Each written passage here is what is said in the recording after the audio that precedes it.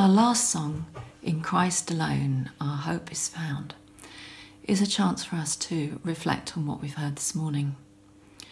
I've always found the story of the two wolves a really powerful metaphor, um, and it leaves us with the question of which of the two wolves are we going to feed and listen to this coming week?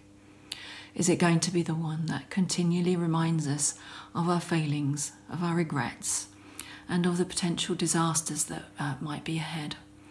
Or is it going to be the one who constantly assures us that we are loved, that there is nothing that can separate us from God's love in Christ Jesus?